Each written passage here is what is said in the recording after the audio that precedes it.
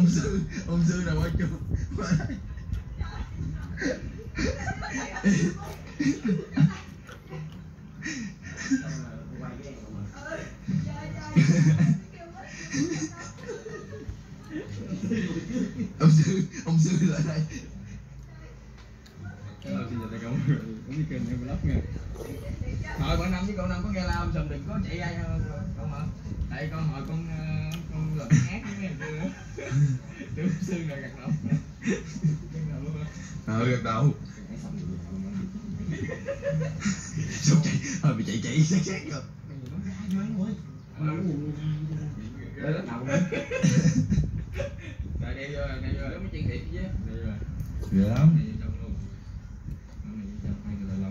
gập xuống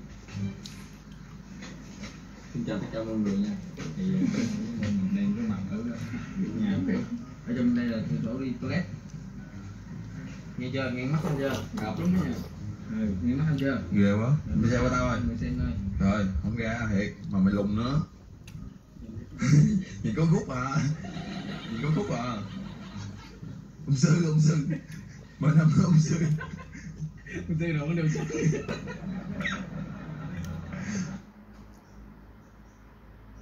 Ba này có khúc Ba này có khúc ý lùn vé lùn vé Giờ đây mình đã không quay rồi, mình đợi mấy anh đi đi vô.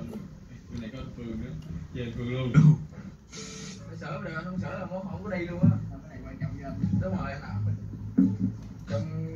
giỏ nước mà để dặn như toilet á Nó bị gì rồi còn nó khóa nước luôn rồi, không có nước sợi Có rồi, em chỉ chọn rồi. Rồi, rồi, rồi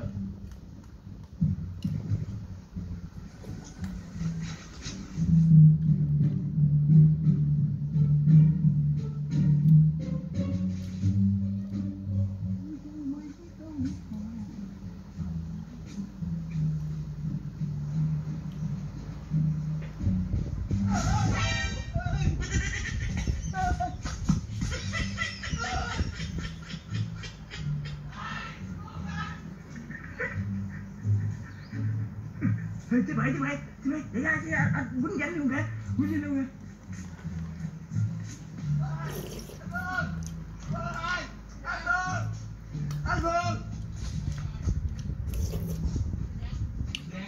What the hell? lại lại anh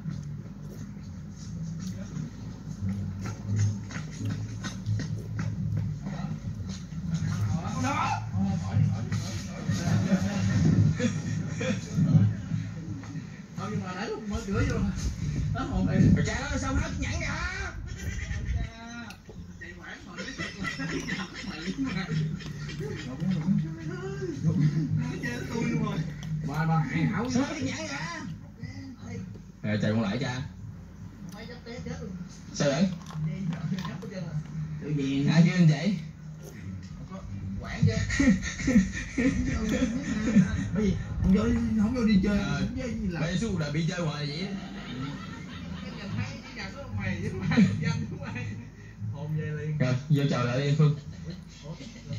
Vậy thôi đó. Hỏi sợ uống nước vậy đó. Bị cho rồi đó.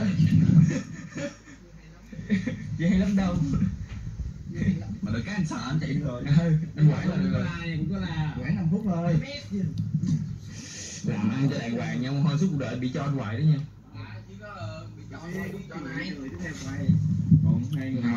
Ai vô một người đó. A few moments later. Mình đã dụ được ngáo đi đảng sữa uống nước này nha mọi người.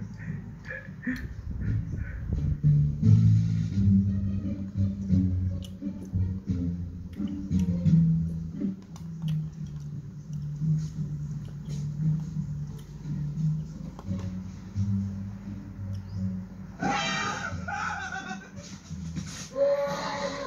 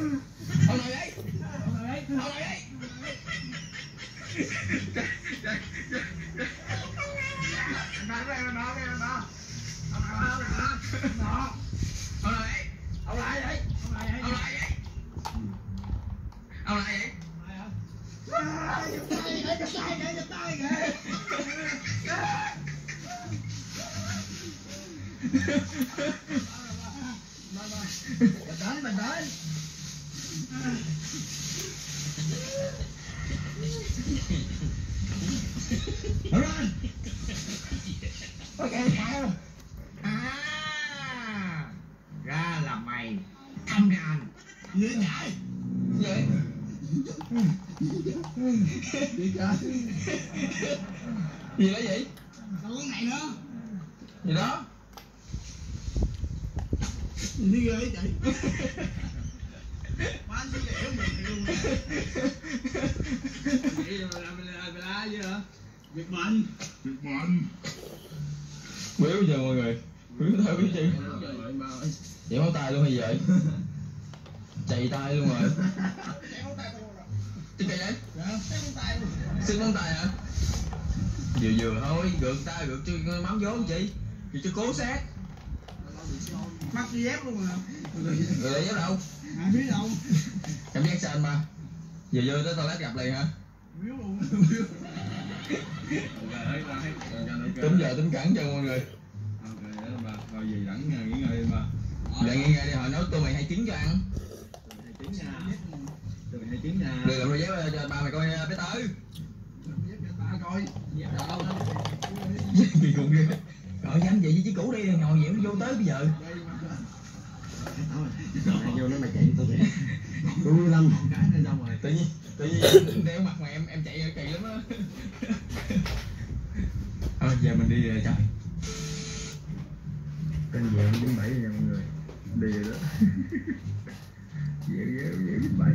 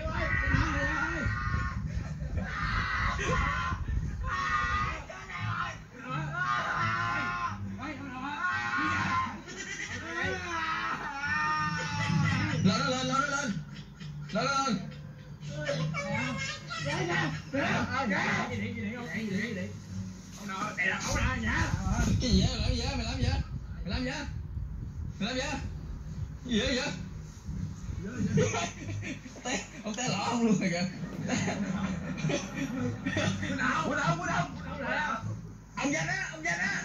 Ông dân á. Ông dân á.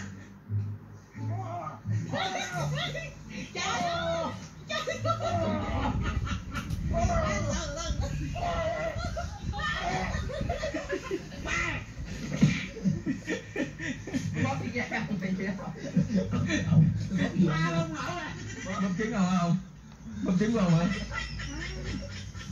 gì vậy Bóp. Vô vô cửa nội đi hết hồn vậy. chạy dữ vậy chạy là ông giùm vậy kìa. Ok ok. Còn kìa ngồi đây đây. Hey, nhanh nhanh nhanh cái này nhanh nhanh nhanh. Anh Quy Vinh mới vô đó nhanh. Đợi cái mặt chị lên hùng anh Quy Vinh nhanh. Đợi mặt chị lên hùng anh Quy kìa kìa anh Quy trong chọi kìa. Anh trong chọi kìa. Kìa vô một anh ơi cái này mày hỏi gì vậy Anh chị em thấy không ai làm sao chứ? Đi kìa vậy? Không biết. Là sao ba sao mà hồi quay qua cái ông nội ông nội ông chụp em chưa chạy không nghe rồi sao? Em chạy sát đít mà luôn á. Mặt con này. Lùi vô luôn nha lùi vô luôn nha lùi vô luôn nha lùi vô nha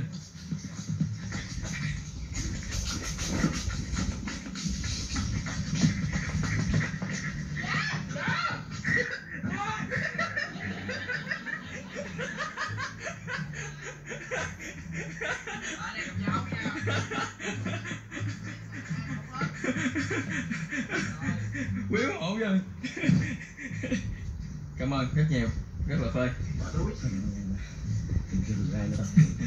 Chừng mình anh nuôi. Bắt hồn bây giờ chị quay ờ, cuộc trước giờ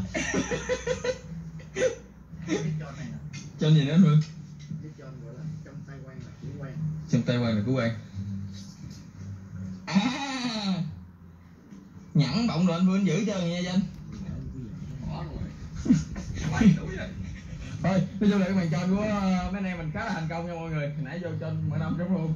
vậy Trên mở năm luôn là lúc đầu á, danh vô nè, đội đội đầu đưa đầu vô nè. Mở năm, mở năm rồi danh. Mở năm tử ờ, sư nào? Mở năm kêu câu năm vậy. Rồi danh mở mặt ra trái ấy trái hết lộn hết trơn. Tôi tưởng là ông sư nào luôn. có chồng mà năm không Có, có ha có, cho giữ luôn mọi người. Ok, cảm ơn mọi người xem hết video nha mọi người. Nếu đâu nếu người thấy màn tranh này hay bấm like cái kênh này. tại vì trước khi chơi phải vô nói mình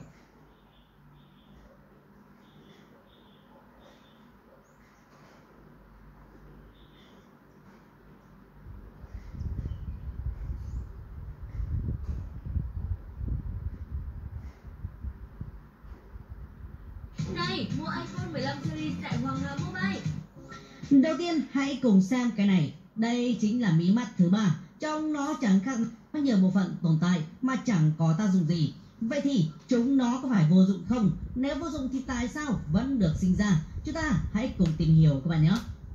Đầu tiên, hãy cùng xem cái này. Đây chính là mí mắt thứ ba. Trong nó chẳng khác nào một miếng thịt thừa dính vào mắt. Và cho đến hiện tại, nó chẳng hề có tác dụng gì. Vậy thì, tại sao nó lại được sinh ra và nằm lù lù một bãi ở đó? Để giải thích cho điều này, thì các nhà khoa học đã quan sát thấy nhiều loài động vật như là loài bò sát hay các loài chim chóc và thấy rằng chúng nó có tới ba cái mí mắt, như các bạn đang thấy trong hình. Như vậy thì có thể đoán rằng cái mí mắt thịt thừa của con người chính là cái mí mắt thứ ba đã bị tiêu biến khi nó không còn tác dụng. Cụ thể là ở động vật, cái mí mắt này sẽ giúp quét qua và làm ẩm cho mắt của động vật nhưng mắt của con người đã tiến hóa để có độ ẩm cao hơn và do đó mí mắt thứ ba không còn tác dụng nên bị tiêu biến. Tiếp theo là cơ tay. Có nhiều người có khả năng rất đặc biệt, đó là di chuyển hoặc là cử động tay, trong khi phần lớn chúng ta không làm được. Nhưng các bác sĩ cho biết tất cả chúng ta đều có phần cơ ở tay để giúp tay có thể cử động. Nhưng ở đa số mọi người thì cái cơ tay đó không hoạt động được nên chúng ta không cử động được tay. Vậy thì cơ tay đó sinh ra để làm gì khi mà nó không có tác dụng? Cũng theo thuyết tiến hóa trước đây, tổ tiên của con người di chuyển bằng bốn chân. Các bạn sẽ thấy tương tự như ở động vật, chó hay mèo hay ngựa thì khả năng nghe phía sau là rất khó. Nên tai của chúng có thể di chuyển để tối đa khả năng nghe âm thanh ở phía sau. Nhưng mà qua thời gian, con người đã di chuyển bằng hai chân và khi có âm thanh từ phía sau thì chúng ta nhanh chóng ngoái cổ lại nhìn. Như vậy, tai không cần thiết phải cử động. Dần dần, cái cơ đó lười biếng và đến một ngày thì nó quên rằng nó có thể hoạt động được. Thế nên, bạn nào mà còn hoạt động được cơ tay thì coi như bạn đó xứng đáng làm tiền bối của chúng ta. Thứ ba là răng khôn. Vâng, nói đến răng khôn, đời ai cũng vài lần phát điên và chửi nó. Một thứ răng mang tên thì khôn lắm, mà lại mọc vừa ngu vừa vô dụng. Chẳng được cái tích sự gì. Chúng ta vẫn thường thắc mắc là răng ngu nó có tác dụng gì đâu, sao nó lại được sinh ra. Thậm chí là mấy cái răng mất dậy, nó còn mọc ngang, xô nghiêng ngả hết cả đám răng khác. Thì hóa ra cái gì cũng có lý do của nó. Theo nghiên cứu, tổ tiên loài người thường phải ăn các loại thức ăn cứng hơn, dài hơn. Vì vậy răng hàm cần phải nhiều hơn. Đồng thời cái miệng nó dài về phía trước. Trông như các bạn đã thấy trong hình. Không bàn đến chuyện cụ tổ này trông rất mảnh chai, thì nhìn hàm răng của cụ các bạn sẽ thấy nó nhô ra phía trước tức là toàn bộ hàm dài hơn vì vậy mấy cái răng khôn cũng có chỗ mọc đàng hoàng và có tác dụng như những cái răng hàm khác. Tuy nhiên dần dần con người giỏi săn bắn giỏi hái lượm lại còn biết dùng lửa để nấu thức ăn. Thế nên thức ăn mềm hơn nhai dễ hơn. Vậy nên miệng của chúng ta không cần quá nhiều răng. Hàm răng sẽ tự thu lại mặt phẳng ra. Chính vì thế mà răng số 8 tức là răng khôn dần mất đi không gian. Vì vậy mà nó mọc lên với không gian chật chội, mọc lung tung, ngả nghiêng và quan trọng là nó đã vô dụng.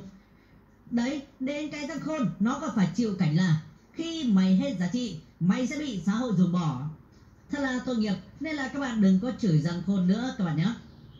rồi núm ti của đàn ông nó có tác dụng gì nghe thì có vẻ vô lý nhưng thực ra là cái núm ti của đàn ông cũng có tác dụng đó là nó chứa rất nhiều cảm biến thần kinh dễ bị kích thích vậy nên các bạn có thể đoán được tác dụng của nó là gì rồi thế nhưng tác dụng này cũng là kiểu cố mà dùng cho có, chứ không có thì cũng chẳng sao. Thậm chí các nhà khoa học còn cho rằng nam giới hoàn toàn có thể bị ung thư vú khi có cái núm này. Vì vậy, một lần nữa núm của đàn ông mọc ra thật ngớ ngẩn. Thế nhưng tại sao chúng ta vẫn có nó? Thì theo các nhà khoa học, đàn ông có cái núm không phải là do tiến hóa, không phải là ngày xưa chúng ta cho con bú thì bây giờ không cho nữa, nên nó tèo lại đâu mà nó là kết quả của quá trình thai nhi phát triển cụ thể là ban đầu, ở giai đoạn 6 tuần tuổi, cơ thể của cả nam và nữ đều phát triển y như nhau, sau đó lớn lên mới khác biệt dần. Và đàn ông lúc này cũng có các tế bào hình thành cái nông ti, nhưng khi lớn lên thì nó không có phình ra được, nên nó mới lép xẹp như vậy. Dù vậy thì nó vẫn chứa nhiều dây thần kinh và có cả mạch máu chi phối thần kinh, vậy nên nó cũng mang đến nhiều cảm nhận thú vị. Tiếp theo, chúng ta lại đến với một cái rất đặc biệt, đó là cơ gai ốc có phải các bạn thường nổi gai ốc hay rợn tóc gáy mỗi khi nghe một điều gì đó đáng sợ và dùng mình không? Thế thì gai ốc này có tác dụng gì? Thì trước hết, chúng ta hãy cùng tìm hiểu tại sao gai ốc lại xuất hiện. Thì đơn giản như thế này, bên dưới chân lông của chúng ta có một cái cơ bé tí ti nó gắn chân lông với da, chính là cái đỏ đỏ mà các bạn đang thấy trong hình. Nó to cỡ gấp đôi sợi tóc thôi. Cái cơ này, khi chúng ta sợ hãi, nó sẽ co lại khiến cho sợi lông cứng lên, dựng đứng và phần da xung quanh cái lông sẽ gồ lên một chút, chính là cái hiện tượng gai ốc mà chúng ta thấy. Thế nhưng tại sao lại xuất hiện hiện tượng này? Thì các bạn để ý, sẽ thấy chó, mèo hay các loài động vật khi nó sợ hãi, lông cũng sẽ dựng đứng lên để tạo ra một trạng thái sẵn sàng chiến đấu, hù dọa kẻ thù. Đặc biệt là con nhím, nó mà dựng đứng lông lên thì đối phương chỉ có bỏ chạy là vừa giờ thì con người không còn lông dài như tổ tiên, nhưng chúng ta vẫn có những sợi lông rất nhỏ dưới da. Và mỗi khi sợ hãi hay phản ứng bất ngờ với thông tin gì đó, thì chúng ta vẫn có hiện tượng dựng lông như động vật. Và chân lông vẫn nổi lên như gai ốc. Rồi chúng ta sẽ tiếp tục đến với xương cột. Vâng không hiểu thế nào mà cuối xương sống của chúng ta lại có cái xương cột. Điều này nghe thì có vẻ vô dụng, nhưng nếu theo các nhà học giải thích, thì chúng ta lại thấy nó rất là có lý đó là phần xương này, vốn dĩ là cái đuôi của tổ tiên loài người. Lúc xưa chúng ta có cái đuôi để di chuyển, đặc biệt là đu qua đu lại trên cành cây dễ dàng và giữ cân bằng tốt hơn. Thế nhưng khi con người đã đi bằng hai chân, thì cái đuôi không còn tác dụng nữa. Nó dần ngắn lại và biến mất.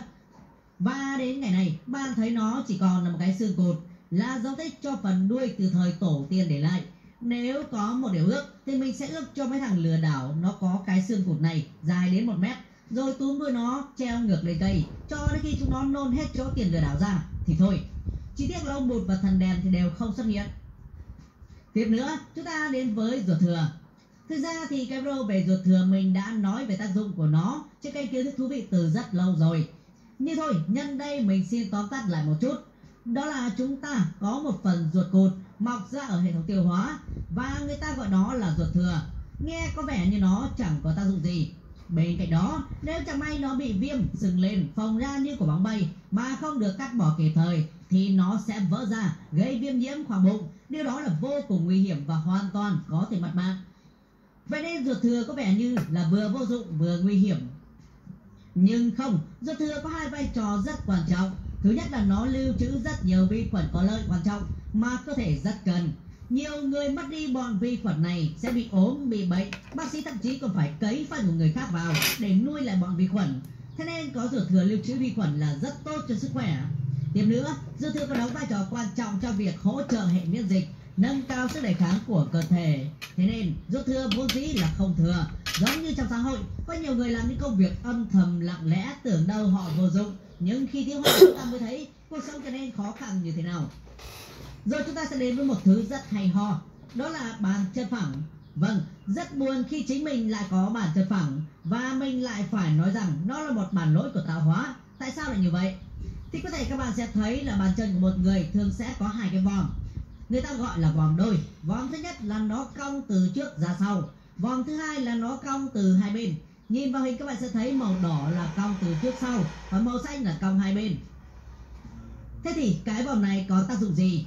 Thì bạn lại xem trong hình. Bạn thấy dưới bàn chân có rất nhiều cơ nối từ gót chân đến mũi bàn chân. Những cái cơ này rất quan trọng. Khi chúng ta di chuyển, chạy, nhảy bật xa, các cơ này có dán để chúng ta thực hiện được mục đích. Nhưng ở thời tổ tiên, khi đi bằng bốn chân, thì việc bật xa cái cơ bàn chân nó không quan trọng lắm, mà cơ ở cẳng chân mới chịu trách nhiệm cho việc chạy nhảy. Vì lúc đó nó yêu cầu sự phối hợp của bốn chân với nhau. Khi có hai chân thì cơ bàn chân trở nên rất quan trọng vấn đề là bàn chân càng cong thì các cơ này lại càng dễ cò lại và kéo bàn chân cong lại để chạy nhảy dễ hơn. Nhưng ở bàn chân phẳng, xương nó thẳng thì kéo hai đầu xương cho nó cong lại sẽ tốn sức hơn rất nhiều. Các bạn cứ hình dung là một cái que đã cong rồi thì bạn bẻ gãy là rất dễ, nhưng một cái que đang thẳng thì bẻ gãy nó là khó hơn. Thế nên người nào bàn chân phẳng thì chạy sẽ lệch bạch, chậm hơn, lè mè hơn người chân cong. Mình đã trải nghiệm điều này cùng chiều cao như nhau. Mà lúc nào mình chạy cũng chậm hơn người khác. Cay nhất là cái lần đi chọc chó. Mà chạy không kịp bị nó cắn rách quần. Thế nên ông nào chân phẳng thì đúng là tiến hóa chậm rồi. Vậy bạn thuộc nhóm chân cong hay chân thẳng? Hãy để lại cảm nhận của mình ở phần bình luận nhé. Cảm ơn các bạn đã xem video xin chào và hẹn gặp lại.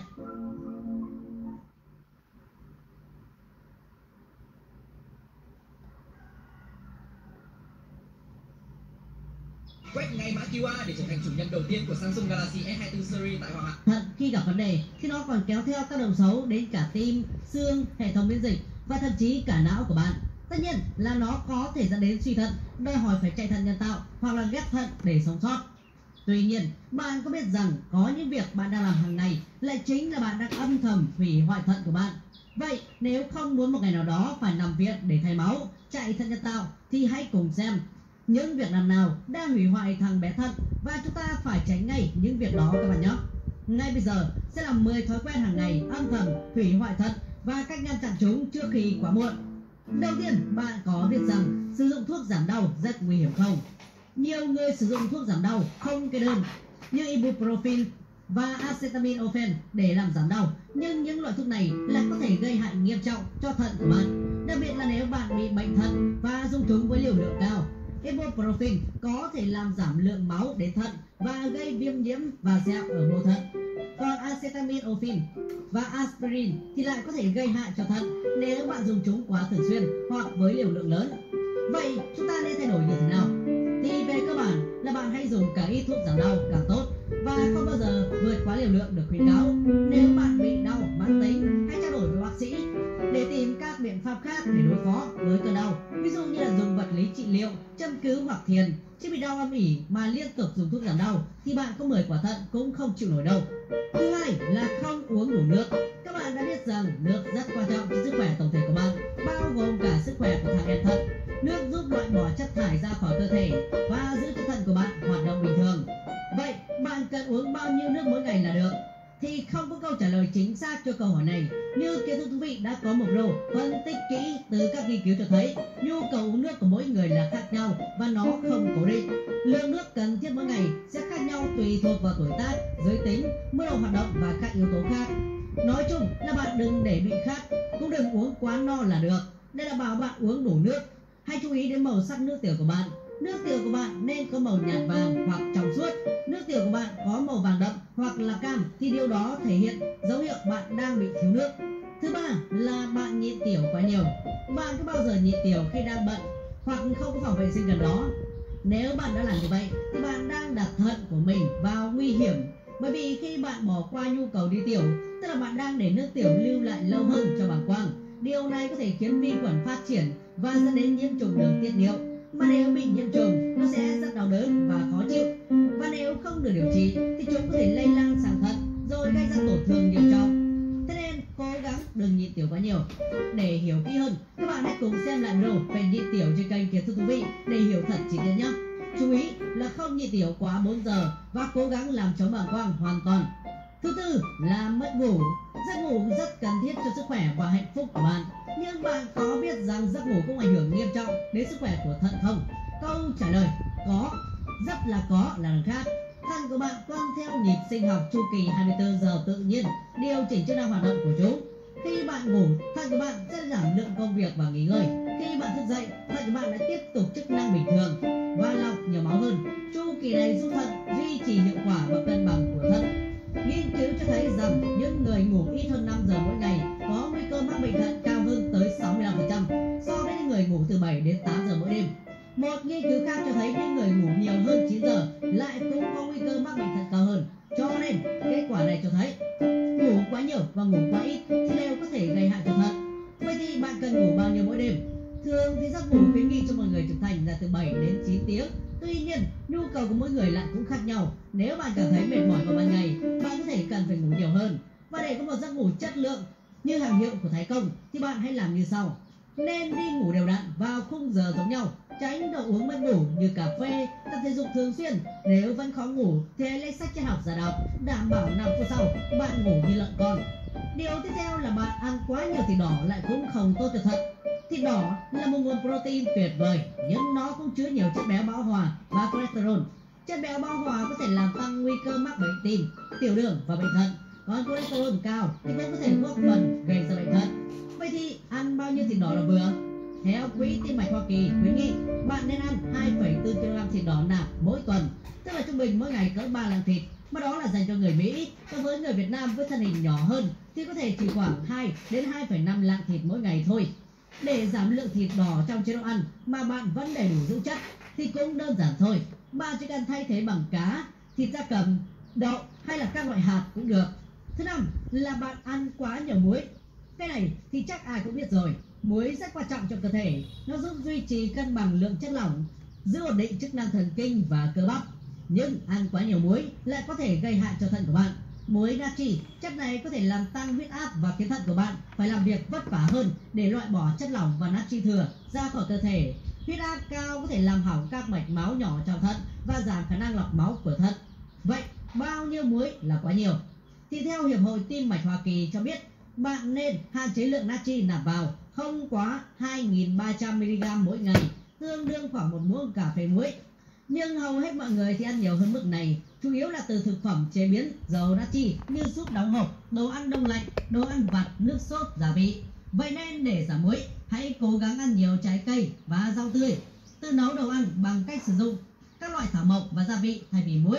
Hãy đọc kỹ nhãn dinh dưỡng khi mua thực phẩm đóng gói. Tiếp theo nữa là bạn cũng đừng ăn quá nhiều thực phẩm chế biến sẵn. Bởi vì như đã nói ở trên, thực phẩm chế biến thường chứa nhiều natri, ngoài ra còn có nhiều đường, chất béo bão hòa và cholesterol. Những chất dinh dưỡng này có thể làm tăng nguy cơ mắc bệnh tim, bệnh tiểu đường và bệnh thận. Vậy nên để giảm bớt việc tiêu thụ đồ ăn sẵn thì bạn hãy chịu khó cố gắng tự nấu ăn cho mình. Khi bạn tự nấu ăn thì bạn có thể kiểm soát được lượng natri, đường, chất béo bão hòa và cholesterol trong thực phẩm của bạn. Thứ 8, một cái thói quen mà hầu như ai cũng đang đối mặt, đó là lười vận động. Việc tập thể dục là rất quan trọng cho sức khỏe tổng thể và thận cũng như vậy. Tập thể dục giúp kiểm soát huyết áp, giảm cân và cải thiện sức khỏe tim mạch. Tất cả những điều này đều có thể bảo vệ thận của bạn. Các hướng dẫn của Bộ Y tế Hoa Kỳ khuyến nghị rằng người lớn thì nên tập thể dục ít nhất 150 phút mỗi tuần với cường độ trung bình, nghĩa là mỗi ngày bạn phải dành ra ít nhất 25 phút để luyện tập. Có một số phương pháp luyện tập siêu dễ mà siêu hiệu quả cũng trên kênh kiến thức thú vị đã chia sẻ đó là đi bộ, chạy bộ. Những môn này không chỉ giúp bạn vận động cơ thể mà còn rất thư giãn, không cần nỗ lực nhiều. Đặc biệt là trong lúc đi, bạn còn có cơ hội gặp các bạn gái xinh và kiếm vợ tương lai nữa. Thứ 9, điều này không nói ai cũng biết, đó là hút thuốc. Hút thuốc là một trong những thói quen có hại nhất cho sức khỏe. Hút thuốc làm tăng nguy cơ mắc nhiều bệnh, bao gồm cả bệnh thận. Hút thuốc làm hỏng mạch máu của bạn, bao gồm cả mạch máu trong thận. Điều này sẽ làm giảm khả năng lọc máu của thận và dẫn đến tổn thương thận. Nghiên cứu cho thấy rằng những người hút thuốc có nguy cơ mắc bệnh thận cao hơn 50% so với những người không hút. Nếu bạn hút thuốc, hãy bỏ càng sớm càng tốt. Bỏ thuốc có thể giúp bạn giảm nguy cơ mắc bệnh thận và cải thiện sức khỏe tổng thể của mình. Và cuối cùng là uống nhiều rượu bia. Không nói cho bạn cũng biết, uống quá nhiều rượu bia có thể gây hại cho nhiều cơ quan trong cơ thể của bạn, bao gồm thận. Rượu làm tăng huyết áp và có thể làm hỏng các mạch máu trong thận. Điều này sẽ làm giảm khả năng lọc máu và dẫn đến tổn thương. Vậy nên uống bao nhiêu rượu mỗi ngày? Các bạn hãy xem lại một cách chi tiết trong video về tác hại của rượu trên kênh kiến thức thú vị các bạn nhé. Thế thì qua video này chúng ta thấy rằng bằng cách tránh những thói quen hàng ngày có hại cho thận, bạn sẽ bảo vệ được sức khỏe của thận và giảm nguy cơ mắc bệnh thận. Để chắc chắn rằng em bé thận của bạn ok thì hãy thực hiện các bước sau: kiểm tra huyết áp, kiểm tra lượng đường trong máu của bạn nếu bạn bị tiểu đường, duy trì số lượng ăn vừa phải, ăn chế độ ăn uống lành mạnh, rau trái cây, rau và ngũ cốc nguyên hạt, tập thể dục thường xuyên, không hút thuốc và cố gắng hạn chế rượu bia. Hy vọng rằng video này đã cung cấp thêm hiểu biết về sức khỏe cho bạn. Và ngay từ hôm nay, hãy chăm chỉ tập thể dục các bạn nhé. Hãy cùng các bạn xuống phía dưới để cùng nhau luyện tập, thể hiện quyết tâm của mình nào. Cảm ơn các bạn đã xem video. Xin chào và hẹn gặp lại.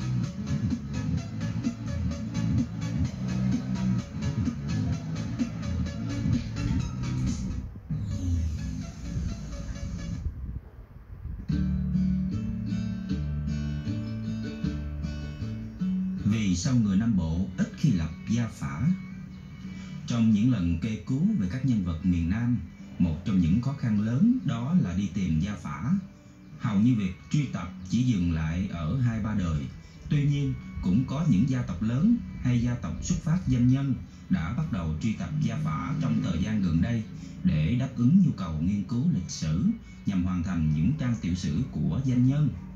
Vấn đề đặt ra là vì sao người Nam Bộ ít lập gia phả hay tập phả? Thoạt tiên, không phải người miền Nam không quan tâm đến nguồn cội, vì rõ ràng nỗi nhớ quê cha đất tổ vẫn là nỗi niềm đau đớn của người lưu dân. Từ độ mang gươm đi mở cõi, trời Nam thương nhớ đất Thăng Long. Chúng ta thấy rằng có những sản phẩm văn hóa tâm linh nguồn cội được lưu dân bảo lưu rất nguyên vẹn và đâu đó trong cái 300 năm của Sài Gòn gia định vẫn còn lưu lại rất nhiều dấu ấn của 1.000 năm Thăng Long, Hà Nội. Người Việt dù là Bắc hay Nam cũng chịu sự chi phối mãnh liệt của tư tưởng nho học, cũng lấy câu ẩm thủy tư nguyên hay con người có tổ có tâm làm đầu. Nhưng do điều kiện tự nhiên và văn hóa xã hội trên một vùng đất mới đã dẫn đến những tư duy mới, người Nam Bộ không cần hoặc không muốn ghi chép gia phả. Nói về người Nam Bộ hay người đàn trong, ai cũng biết họ là lưu dân. Cố nhiên trên một đất nước xuất hiện tình trạng người dân rời bỏ cố hương một cách đông đảo như thế dẫn đến tình trạng xáo trộn to lớn về mặt quản lý trong khuôn khổ một đất nước, một tập họ hay một gia đình. Cuộc xê dịch và ly tán gia dẫn kèm theo sự gian nan trên con đường khai mở đất mới cộng với sự bất ổn về dân cư và những cuộc nội chiến Bắc Nam đã kéo theo tình trạng đứt gãy về mặt gia phả. Thứ nhất là sự ly tán trong dòng tộc và sự phá bỏ tính làng xã, hương ước của quê hương đất Bắc. Ở miền Bắc, việc lập gia phả suy ra dễ vì sự định cư ổn định và lâu dài kéo theo tính làng xã và những hương ước cố nhiên được củng cố một cách bền vững. Ở Bắc không quá khó để tìm được những ngôi làng mang tên dòng họ như Đào Xá, làng họ Đào, Chu Xá, làng họ Chu, Đỗ Xá, Phùng Xá, Chữ Xá, vân vân là nơi sinh sống và định cư lâu dài của một tập họ. Việc lập gia phả hay tộc phả chỉ cần được ghi chép tuần tự theo thế hệ và theo hương ước. Trai gái các làng không được lấy nhau nên tuyệt nhiên sự ổn định về dân cư là một điều kiện nhất định để lập gia phả. Ngược lại, công cuộc Nam Tiến diễn ra từ đời chúa Nguyễn, bắt đầu từ năm 1558 và tạm gọi là hoàn thành dưới thời chúa Vũ Nguyễn Phúc Khoát năm 1772 đã là nguyên nhân thủ tiêu tính làng xã của miền Bắc và trên bước đi nhọc nhằn khó khăn đó, cái người ta quan tâm nhiều hơn là được sống. Họ vừa phải đối diện với sự khắc nghiệt của thiên nhiên, vừa phải chống trả lại những cuộc tấn công của nhà Lê Chúa Trịnh ở ngoài Bắc và sự phản kháng của nhà nước Champa và chân lạp ở phía Nam. Lưu dân đi đến đâu làng mạc mọc đến đó, người chọn cách ở lại, người chọn cách tiếp tục phiêu lưu trên miền đất mới. Cuộc di dân có thể diễn ra đến hai hoặc ba đời hoặc còn hơn thế nữa, mà mỗi thế hệ xa dần không đủ nhớ về tổ tiên xa xôi của mình hoặc do thiếu điều kiện về ghi chép đã dẫn đến sự mai một dần về tập tục ghi chép gia phả bằng văn tự, chủ yếu nguồn cội được truyền miệng lại, cố nhiên không chính xác và sẽ bị lãng quên dần đi qua nhiều thế hệ. Vả lại, người Việt có phong tục ngũ đại mai thần chủ, qua năm đời bài vị hủy đi, chỉ gọi là cửu huyền tất tổ, nên lại càng khó truy tập gia phả. Mặt khác, trong nhóm lưu dân lại có những người có quá khứ cần phải quên đi, như những người trốn sâu lậu thuế, những tội nhân, kẻ sĩ xa cơ lỡ vận, những cặp đôi yêu nhau không được chấp nhận, gái chữa hoang, vân vân, được nhà nước Lê Trịnh gửi theo Nguyễn Hoàng nhằm hai mục đích vừa không phải giữ lại những thành phần bất khả giảm hóa trên đất nước mình, mặt khác gây những rối loạn bởi những phân rẽ nhất định từ sự phân biệt xuất thân trong nhóm lưu dân nên đôi khi con cháu những người này có xu hướng giấu đi cội nguồn để qua vài thế hệ họ lại được khôi phục vai trò của một lương dân trong xã hội phong kiến. Sự phức tạp của đám đông dẫn đến nhiều trẻ mồ côi do thất lạc cha mẹ có thể chết trên đường, được những người còn lại nuôi dưỡng, lớn lên thay tên đổi họ nên cũng chẳng biết gia phả thực thụ ở đâu. Làng miền Bắc với định tuyến là lũy tre khóa chặt chu vi bốn góc, nhưng làng miền Nam dựa vào mé sông chứa những kiếp lục bình trôi nổi. Làng của lưu dân với đặc trưng mở, dung nạp nhiều gia tộc khác nhau cùng chung sống, nên tính hương ước bị phá bỏ, trai gái tự do yêu nhau và sinh con, dĩ nhiên vẫn dưới sự đặc để của cha mẹ, nhưng không khắc khe như ở ngoài miền Bắc.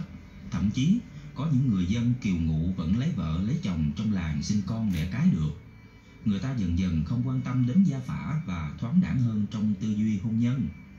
Trong thời gian này, người Việt lại liên hôn với những dân tộc mà họ gặp trên đường lưu dân, chẳng hạn như người Chăm, người Chân Lạp, sau này là người Hoa. Hầu hết những người bản địa này cũng không có gia phả hẳn hoi, chủ yếu những người bám trụ lại sau cuộc áp chế của người Việt trong công cuộc giành đất, hoặc người Minh mới sang Việt Nam thay tên đổi họ, ngầm định cuộc phản thanh phục minh. Nếu giữ lấy tên họ gia phả thì rất nguy hiểm cho những người trong gia tộc còn mắc kẹt lại dưới triều thanh, có thể bị mang ra uy hiếp, rất khó hoạt động. Vì vậy, chiến tranh là một vấn đề ảnh hưởng rất lớn đối với việc lập gia phả. Muốn chống Lê Trịnh phải hủy bỏ gia phả để không ảnh hưởng người nhà còn sống dưới chế độ Lê Trịnh. Muốn phản thanh phục minh phải giấu đi người nhà còn sống dưới chế độ nhà Thanh. Muốn kháng Pháp hay làm công việc chính trị quan trọng, việc đầu tiên là không được di lụy người nhà. Từ đó, cuốn gia phả trở nên một thứ luật lệ cổ hủ, rườm rà, không cần thiết và đặc biệt nguy hiểm không chỉ đối với người miền Nam.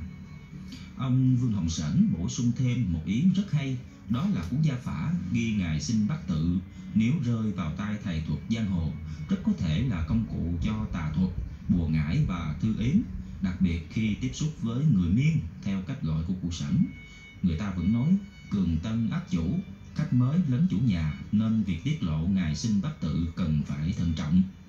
vả lại, người miền Nam với cá tính bán bà con xa mua láng giềng gần nên cũng không màng truy cứu lại bà con nơi quê xa đã ở qua nhiều đời. Rồi tối ăn nết ở khác biệt cũng lật lạc dần, biết nhau cũng không để làm gì. Người Hoa cũng thế, định cư ở Việt Nam vài đời, tuy phong cách sinh hoạt hay giọng nói còn được lưu lại, nhưng phần nào cũng trở nên hóa An Nam là cách trú. Tuy nhiên, nói người Nam Bộ không nhớ đến nguồn cội thì vô cùng sai lầm. Bản gia phả của người Nam Bộ không phải là một mảnh giấy, mà đó là gia giáo với những sự tiếp nối về phong tục gợi nhớ nguồn gốc lưu dân. Trong cúng kiến, người Nam Kỳ vẫn giữ lại những phong tục của dòng họ, người ta gọi là cúng lề. Ông bà xưa hay nói, đất lề quê thối, nghĩa là mỗi làng, mỗi họ đều có những gia giáo và thói quen sinh hoạt riêng theo những luật tục ngầm được lặp lại theo từng thế hệ để giáo dục con cháu.